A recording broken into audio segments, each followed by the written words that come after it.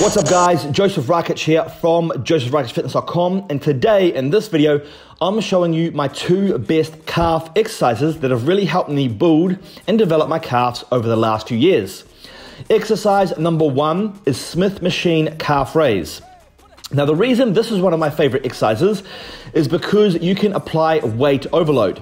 Now, I know this is probably an exercise that you're not too familiar with, but this exercise here really allows you to go extra heavy in the weight, and more weight applied to the calves is going to result in more growth. Now, this exercise here, you can go heavier than any other calf exercise. So that's why I always like to include it in my calf routine now.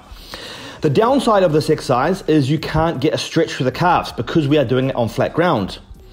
But we're not really focusing on the stretch. What we are focusing on is getting a strong squeeze and contraction of that calf muscle under a lot of weight. Exercise number two is seated calf raise. Now, the reason this exercise is so effective is because this is such a great exercise for developing the soleus muscle in your calf. Now, the soleus muscle is the lower part of your calf, which actually sits underneath the gastrocnemius muscle, which is the main part of the calf, which has the two main muscle heads. Obviously, this exercise works both the gastrocnemius and the soleus. However, this has more emphasis on the soleus muscle due to the reason that your knees are at right angles. This is definitely an exercise that I like to include in most of my calf routines just to really get that full development in my calves.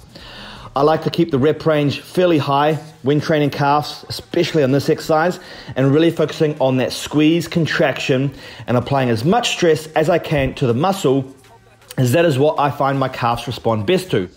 Anyway, guys, I hope that video helped. I hope you learned a few tips.